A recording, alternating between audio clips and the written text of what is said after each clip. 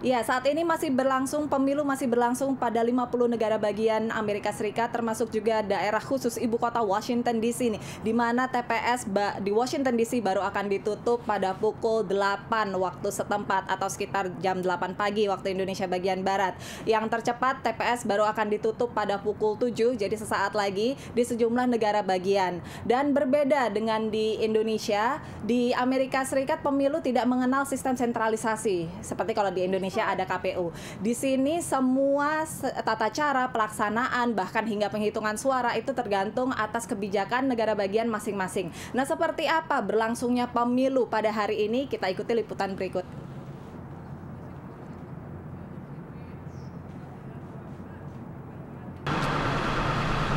Inilah gereja St. James yang menjadi salah satu TPS di kota Alexandria, negara bagian Virginia. TPS ini sudah membuka pintu sejak jam 6 pagi untuk mengakomodasi para pemilih yang ingin memberi suara mereka sebelum berangkat kerja.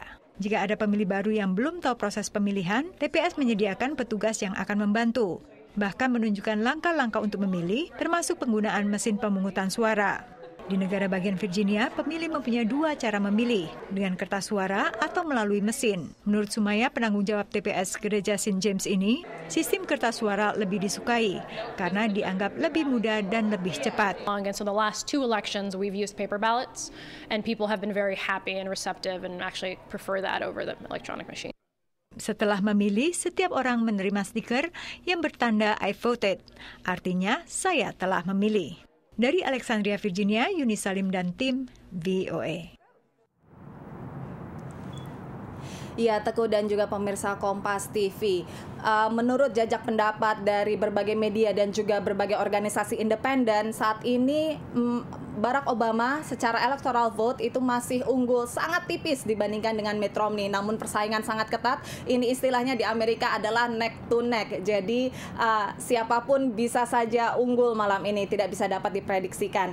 Berbeda dengan pemilu pada tahun 2008 di mana kira-kira pukul 10 malam uh, Amerika Serikat sudah bisa mengetahui bahwa Barack Obama telah unggul jauh di atas kandidat Republik Partai Republik saat itu yaitu John McCain. Nah, namun walaupun Ya, hingga uh, hari ini hingga detik-detik terakhir Mitt Romney dan juga Paul Ryan masih melakukan kampanye di dua negara bagian yaitu di Pennsylvania dan juga Ohio. Nah, hal ini dilakukan karena dua negara bagian ini belum dipegang oleh Partai Republik. Tapi uh, meskipun demikian Partai Republik yakin bisa meraih suara di negara bagian Virginia, Florida dan juga North Carolina. Dan ini memang suaranya sangat penting karena akan um, uh, mendapatkan suara untuk 270 suara elektoral yang nantinya itu dibutuhkan untuk merebut uh, gedung putih. Dan um, Ohio ini menjadi kunci karena biasanya presiden yang terpilih itu memenangkan negara bagian Ohio dan um, nanti akan setelah mereka menyelesaikan kampanyenya di Ohio dan di Pennsylvania, uh, kedua uh, pasangan ini Romney dan juga Paul Ryan akan kembali ke Boston, akan uh, datang ke gedung di belakang saya, Boston Convention and Exhibition Center untuk memantau hasil perhitungan pemilu. Nah, sambil mereka menunggu hasil perhitungan pemilu akan diadakan berbagai kegiatan, salah satunya adalah uh, diadakan sebuah um, apa namanya sebuah uh, hiburan. Ada penyanyi kemudian juga uh, ada band yang tujuannya adalah untuk um, menarik perhatian dan juga membuat masa dari Partai Republik menjadi tenang. Nah, untuk sementara demikian laporan dari Boston, negara bagian Massachusetts. Sekarang kita beralih ke Chicago. Ya, Retno, terima kasih atas laporan Anda dari Chicago. Sekarang ini saya sedang berdiri di, di depan McCormick Place. Ini merupakan sebuah convention center di kota Chicago, kota di mana Presiden Obama dulu menjadi senator dan sekarang di mana ia sedang berada. Di belakang saya ini dalam beberapa jam diharapkan tentunya oleh kubu Obama akan menjadi lokasi pesta pora untuk merayakan kemenangannya di masa jabatan yang kedua. Tapi apakah demikian? Tentunya kita masih harus menunggu. Seperti disampaikan teman-teman tadi, pemilu masih berlangsung di Amerika Serikat khususnya pemilu di negara bagian kunci seperti Virginia yang mungkin dalam satu jam lagi kita bisa mengetahui hasilnya dan kemudian juga Ohio, Florida, dan New Hampshire. Kota-kota yang disebut negara bagian yang disebut sebagai swing states atau battleground states di mana benar-benar jibaku mati-matian antara kubu Obama dan kubu Mitt Romney. Meski demikian, meski Mitt Romney sampai saat hari ini pun hari H hari pemilu masih terus melakukan kampanye, tidak demikian halnya dengan Presiden Obama. Tadi dia sudah mengunjungi lokasi ini untuk melihat persiapannya karena di lokasi inilah nantinya akan ada sekitar 3.000 orang pendukungnya, kemudian donor, relawan kampanye yang selama ini mati-matian membantunya selama 17 bulan kampanye. Sekitar 3.000 orang akan berada di sini untuk tentunya diharapkan merayakan kemenangannya. Berbeda dengan kemenangan tahun 2008 lalu saat pesta perayaannya dilakukan di Grand Park, kira-kira sekitar 2 km dari sini, yang dihadiri 240 ribu pendukung Barack Obama, memang moodnya dipastikan malam ini akan berbeda ya. Energinya tidak akan se semeriah seperti di Grand Park.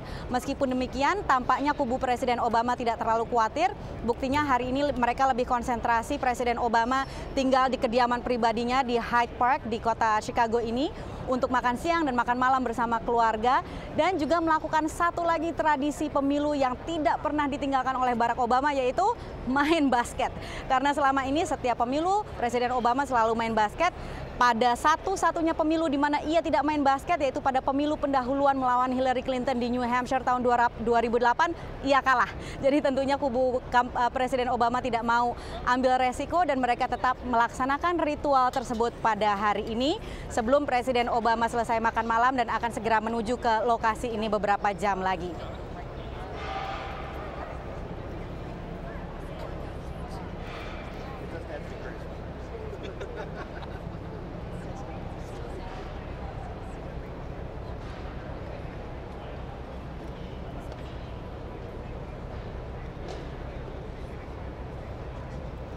Ya, demikian seperti itu laporan yang dapat kami sampaikan dari kota Chicago. Nantikan laporan kami berikutnya di kira-kira jam berita siang Anda. Laporan dari Washington DC, dari kota Boston dan juga kota Chicago, markas Mitt Romney dan markas Barack Obama. Anda dapat menyaksikan betapa seru dan betapa ketatnya pemilu di Amerika Serikat. Dan kami tim VOA akan terus melaporkannya untuk Anda pemirsa Kompas TV. Kembali ke Anda di studio di Jakarta.